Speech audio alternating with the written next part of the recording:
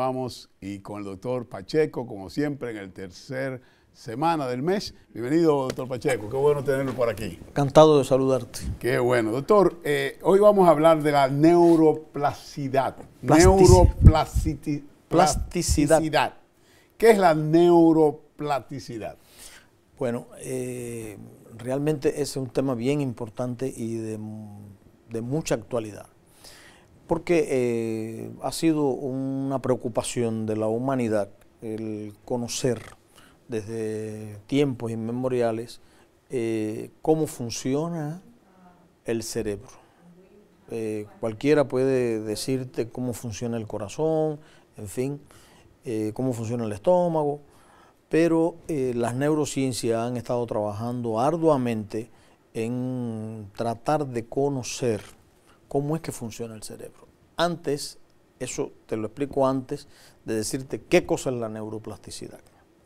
La neuroplasticidad no es más que la facultad que tiene el cerebro de establecer conexiones entre las neuronas para poder desarrollar habilidades que antes se suponían que no existían, porque antes se creía que, por ejemplo, las células eh, del cerebro, las neuronas, se nacía con una cantidad determinada y esa cantidad determinada era estática, fija, no se cambiaba, no se modificaba y era un gran, o sea, eso es un gran problema.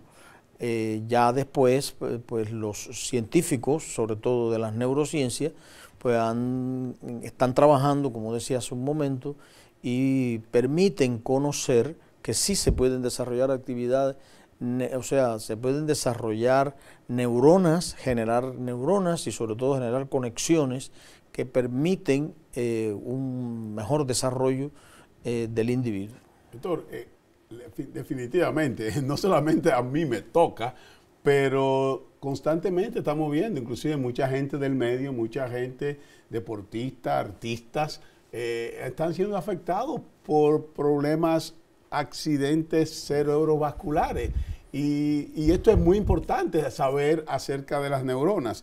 Eh, ¿Se puede renovar las neuronas eh, afectadas por problemas cerebrales? Efectivamente, eh, yo te decía hace un momento que el, el, mundo neurocientífico ha estado trabajando mucho en eso, sobre todo en el descubrimiento del desarrollo de redes de neuronas que son nada más que las combinaciones o, las comunicaciones entre las neuronas que permiten el desarrollo de muchas habilidades que antiguamente no se conocían. Eh, no pienso que, vamos a tener todo el tiempo para poder expresar esto, tal vez en otro momento podemos abordarlo, pero porque esto es algo bien interesante, porque esto permite que se desarrollen eh, nuevas vías para, por ejemplo, detener eh, lesiones o enfermedades como el Alzheimer o personas que tienen lesiones cerebrales, como tú me decías un momento, que permite que el desarrollo de nuevas conexiones hacen que se, logren adquirir habilidades que, van a ir en, en beneficio de las personas. Por ejemplo, las lesiones cerebrovasculares que dañan las neuronas eh, pero que si se pueden recuperar mediante la rehabilitación y mediante determinados tipos de, procedimientos que se puede lograr hacer eso.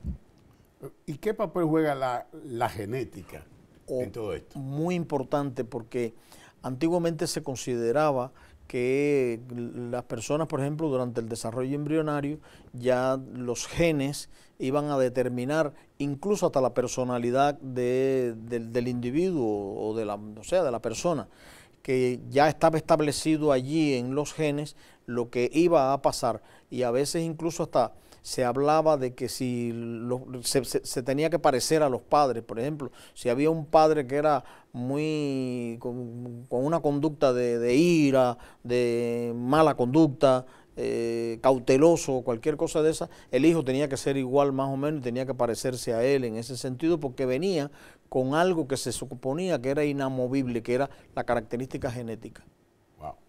Doctor, ¿y se puede decir entonces que el cerebro puede aprender nuevos perfiles emocionales y ser consecuente con ellos? Muchísimo. Una de las cosas que, se logra con esto es el, obtener nuevas habilidades y, e incluso en los negocios esto eh, se puede hacer porque las personas, por ejemplo, tienen determinado estrés o tienen determinado, eh, vamos a decir, determinada deficiencia. Entonces dicen, eh, ellos mismos se autolimitan porque empiezan a pensar, yo no tengo talento para hacer esto, no, no puedo hacer esto, esta otra cosa, no puedo resolver este problema, no tengo suerte, pero sin embargo, si trabaja día a día, puede lograr realizar e incorporar mediante la experiencia muchas habilidades que además no tenía y que las puede poner en práctica.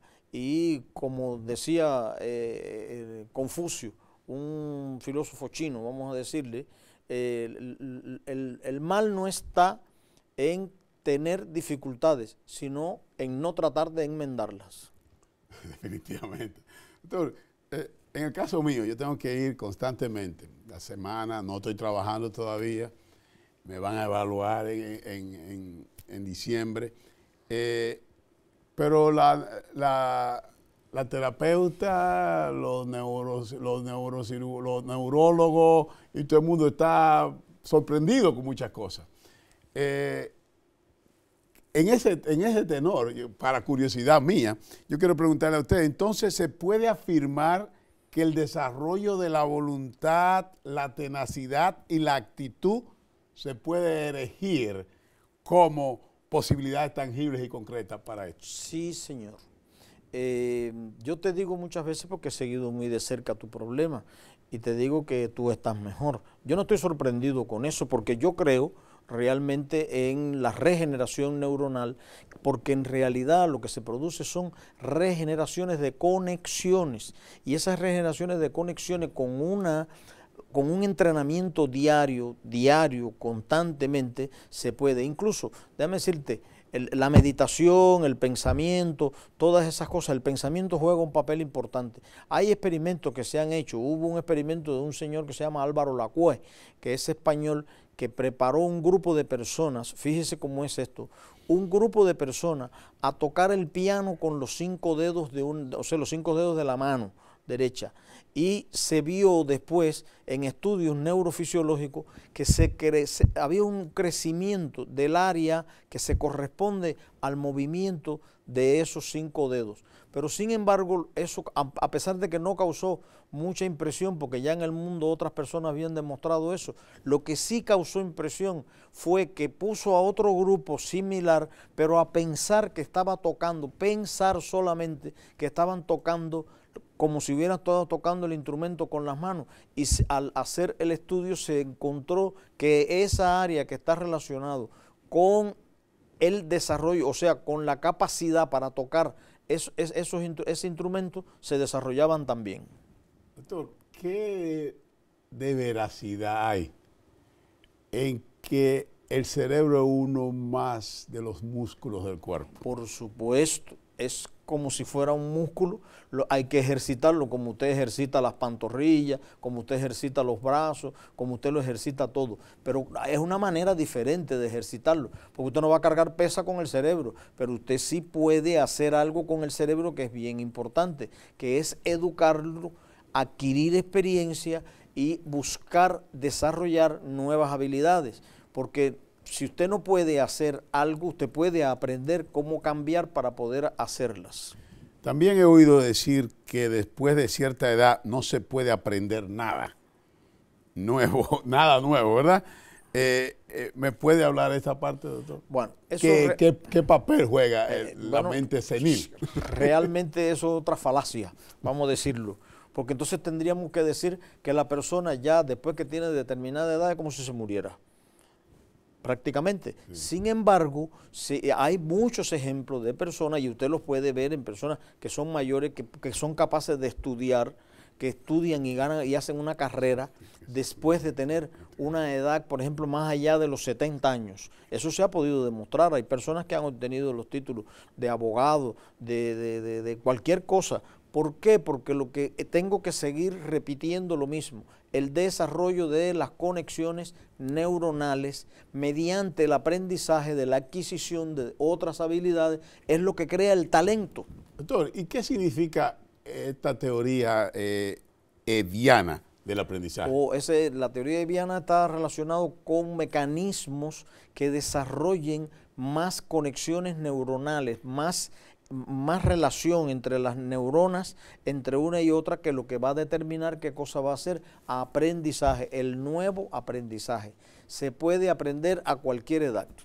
Y se puede, o sea, esto, esto se puede abundar más. Sí, claro. Eh, con los neurólogos. Lo que es necesario es hacer, por ejemplo, meditación, porque la meditación conlleva la adquisición de habilidades para controlar la mente. Cuando usted tiene un control de la mente y usted tiene un control de sus emociones, usted puede aprender y adquirir nuevas habilidades. Y esas nuevas habilidades lo va a poner a usted en una situación mucho mejor en la sociedad porque le va a crear empatía, le va a crear relaciones sociales con las personas. Yo siempre he sido, nunca he entendido ese problema de que hay una edad para jubilarse. Yo creo que lo que hay es una edad para morirse. Definitivamente, doctor, yo creo que estoy convencido de que usted vuelve y vuelve y vuelve porque nos educa no solamente a mí, a nuestro televidente. Yo hay gente que de los que llaman, que dice cuando usted, el doctor viene, yo no llamo porque no quiero intervenir en esto. Doctor, muchas gracias. No, con mucho gusto. Y será pues hasta la tercera semana del mes cuando nuevamente estaremos con ustedes. Y a ustedes, amigos televidentes, darles la gracia por estar ahí siempre. Gracias por sus llamadas. A MNN que hace posible este programa, a Zenaida Méndez, nuestra directora ejecutiva, a Dulce Mateo, nuestra coproductora y un servidor, Carlos Cabrera. Les agradezco grandemente y será pues hasta la próxima semana cuando nuevamente estaremos con todos ustedes. Así que, hasta entonces.